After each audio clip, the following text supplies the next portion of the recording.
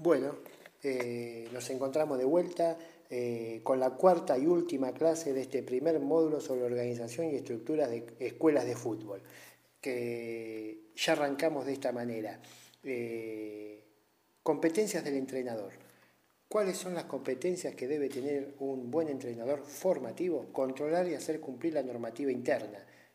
Controlar que se cumpla todo lo que está escrito en la normativa interna y uno mismo debe dar ejemplo y cumplir este, lo que se dice en esa normativa.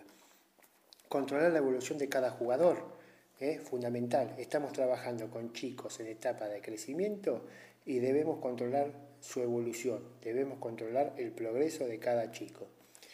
Controlar el rendimiento escolar de los jugadores, fundamental.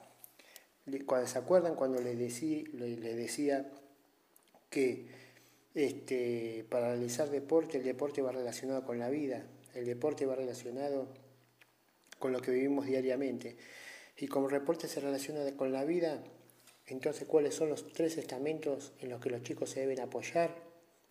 El hogar, la escuela y el club. Estos son los tres estamentos que conforman la vida cotidiana de un chico y estos tres estamentos deben estar unidos y relacionados entre sí.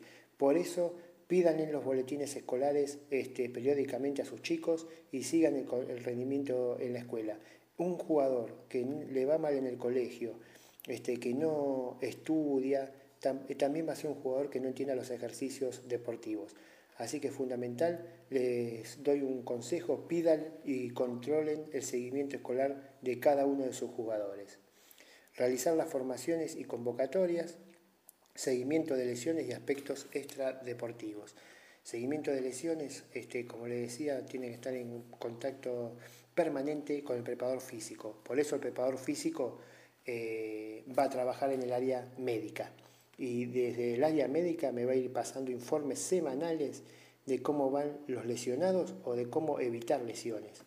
Y aspectos extradeportivos, eh, a veces cuando trabajamos con chicos, o muchas veces, mejor dicho, cuando trabajamos con chicos, eh, nosotros como entrenadores somos los segundos padres de los chicos. Hay muchas veces que, son, que tienen padres separados o que no tienen padre.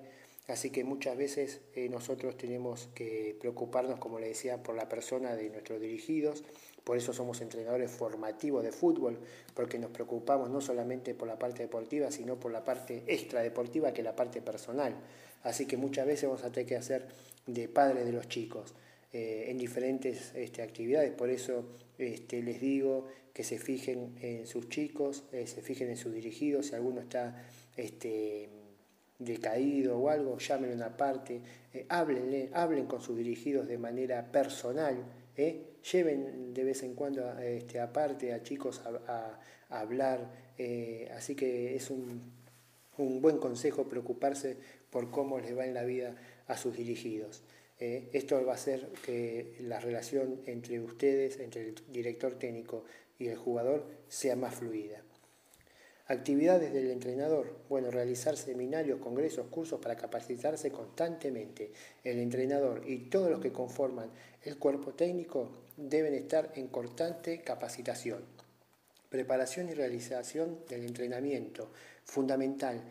Todos los entrenamientos deben estar este, preparados y estudiados para sacar el mayor provecho al rendimiento deportivo de los chicos.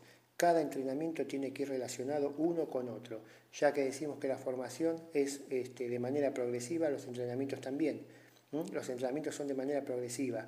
Les voy a dar un ejemplo, así como los entrenamientos son de manera progresiva. Sí, cuando nosotros recibimos a los chicos en etapa de iniciación, que es la etapa de los 5 años, ¿no? a partir de los 5 años hasta los 12, eh, cuando recibimos al chico de 4 o 5 años, ¿qué es lo que primero le tengo que hacer? ¿Qué se les ocurra a ustedes? ¿Qué es lo que primero deben enseñarle a un chico que entra a su escuela de fútbol? Algunos han contestado por ahí bien, algunos no, eh, no tan bien. Lo primero que se debe enseñar es la conducción la base de este juego es saber conducir la pelota, ¿eh? saber conducirla con la cabeza levantada, saber conducirla con las dos piernas. Bueno, una vez que está sentada la conducción, voy a ir pasando con el pase, pase corto, después pase mediano. Bueno, eso es hacer un entrenamiento progresivo ¿eh? y preparar cada entrenamiento para sacarle el mayor provecho y para sacarle el mayor beneficio a lo que voy a realizar. Eh, por ejemplo, si voy a realizar conducción, tengo que eh, preparar un entrenamiento donde haya varios ejercicios de conducción, así los chicos no se aburren. Si voy a hacer un entrenamiento donde voy a ejercitar el pase, varios ejercicios de pase, siempre de manera lúdica, siempre que el chico, ustedes tienen que tratar que el chico se divierta. Si el chico no se divierte, no aprende. Ténganlo bien grabado en la cabeza. Si el chico no se divierte, no aprende. En cambio, chico que se divierte, chico que aprende. Entonces nosotros debemos eh, tener, preparar los entrenamientos para que los chicos se diviertan. Y para eso debo prepararlo y analizar los entrenamientos con tiempo, ¿eh? entrenamientos programados. Armar las fichas correspondientes de cada actividad de jugador, cumplimiento de las actividades establecidas en el calendario general, control y conservación del material deportivo. Fundamental eh, hacer entender que todo cuesta y eh, hacerles entender a los chicos que el material con el que se trabaja eh, hay que cuidarlo. Porque igual que en el colegio, uno tiene que llevar sus lápices, su cartuchera, y el papá le dice, vos tenés que cuidar la cartuchera, tenés que cuidar la mochila, pues yo no te puedo estar comprando este, cuadernos útiles todo el tiempo porque este, no puedo. Acá es lo mismo. La escuela de fútbol este, no puede estar comprando a cada rato pelotas, conos, entonces eh, hay que cuidar el material con el que uno trabaja. Técnico especialista, ¿cuáles son este, las competencias? Responsabilidad sobre la mejora específica de los jugadores a su cargo. ¿eh? Si yo soy entrenador de arquero, me tengo que comprometer en que los arqueros de mi escuela de fútbol, de mi club, vayan mejorando. ¿eh? actividades, informar al entrenador la evolución de cada jugador a su cargo y cumplir con las actividades establecidas. Siempre, como le decía, cada uno que trabaje con ustedes, ustedes son la cabeza del grupo. Entonces, como son la cabeza del grupo, cada uno que trabaje con ustedes, los técnicos especialistas, los preparadores físicos, etcétera, deben evaluarle de manera periódica informes, ¿eh? informe de cómo van las personas que están a cargo de, su actividad. Porque como le decía, así como el dirigente no puede estar en todo, no puede ir a los entrenamientos, ustedes tampoco pueden estar en todo. Si ustedes tienen un entrenador de arquero, bueno, perfecto. Eh, el entrenador de arquero le debe ir este, mediante la ficha de trabajo realizando informes de cómo van evolucionando los arqueros de, de todas las categorías. El delegado, una persona muy importante que lo va a ayudar mucho en su escuela de fútbol, ¿Cuáles son las competencias? Mantener el completo y buen estado de la ropa deportiva y botiquín y ayudar en el cuidado de los materiales deportivos. El delegado es el que se encarga de hacer toda la parte también administrativa y la que lo puede ayudar en hacer todas las partes administrativas, la que se encarga de ir a fichar a los chicos, de mantener eh, conectado con, las ligas, las últimas novedades, los cambios en el reglamento. ¿eh? Es una tarea muy importante la que hace el delegado este, en una escuela de fútbol. Después las actividades, informar al entrenador las circunstancias del ámbito federativo y cuidar las gestiones a realizar este, con el árbitro y delegado de la competencia. ¿eh? Como les decía, el delegado es muy importante y los va a ayudar mucho en la parte administrativa y organizativa de la escuela de fútbol. El ayudante, su competencia es el cumplimiento de las instrucciones establecidas por el cuerpo técnico. Todo cuerpo técnico tiene un ayudante, eh, en las escuelitas de fútbol, pues el ayudante puede ser un chico más grande eh, que ya no tenga la edad de la escuela de fútbol, pero que vaya al club. Bueno, pueden incluirlo siendo el ayudante de ustedes. ¿eh? ¿Cuál es su, competencia? Es el cumplimiento de las instrucciones establecidas. El ayudante es el que se encarga de ayudarlos, valga la redundancia, a ustedes en todo lo que necesiten.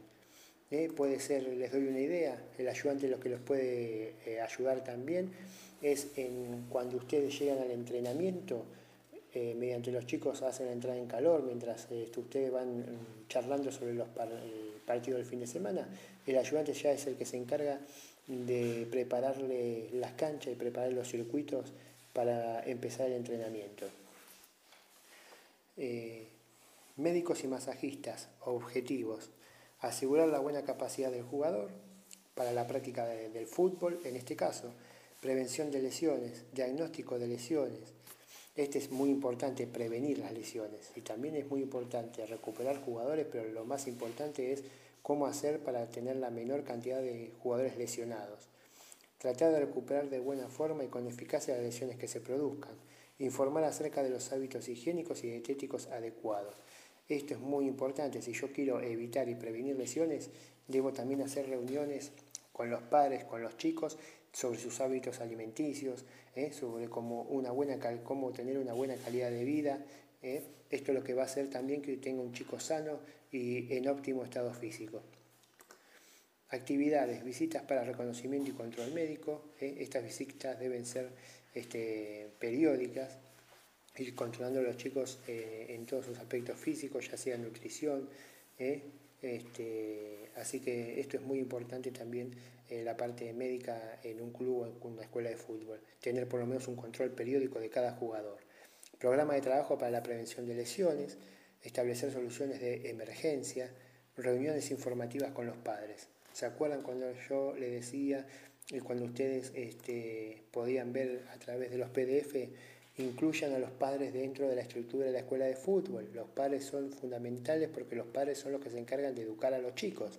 Ustedes no están eh, no pueden estar las 24 horas con el chico, ustedes están un ratito en la escuela de fútbol, el resto del día los que se encargan de educar a los chicos son los padres, así que hagan reuniones periódicas con los padres, ¿eh? manténganlos informados y déjenlos participar de la escuela de fútbol.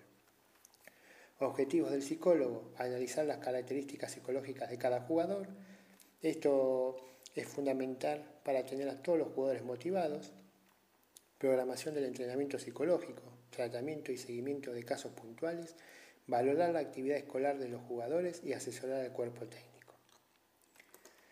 Actividades del psicólogo, realizar los test correspondientes para analizar y conocer a los jugadores, controlar la actividad escolar. Volvemos a marcar, importante el colegio, importante el estudio.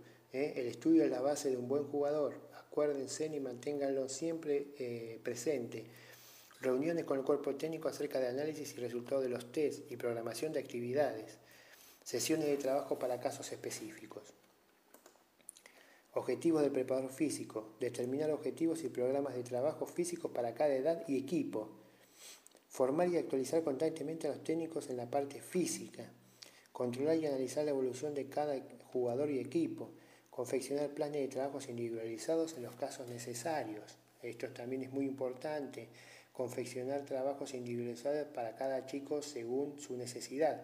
Hay veces chicos que tienen sobrepeso que no pueden hacer el mismo entrenamiento que los chicos que no lo tienen y también al revés, los chicos que tienen bajo peso tampoco pueden hacer el mismo entrenamiento que los chicos que están bien alimentados.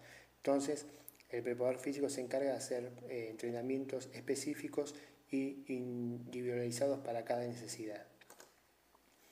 Actividades del preparo físico, reuniones con los técnicos, realización de test, test, análisis, programación y seguimiento de los trabajos individuales.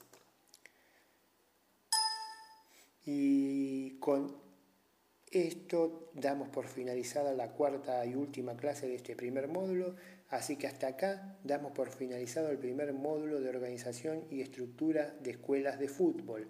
Eh, esperamos, eh, o espero mejor dicho, que les haya servido este primer módulo. Eh, de manera básica este, conocieron y se informaron de cómo organizar y estructurar su escuela de fútbol.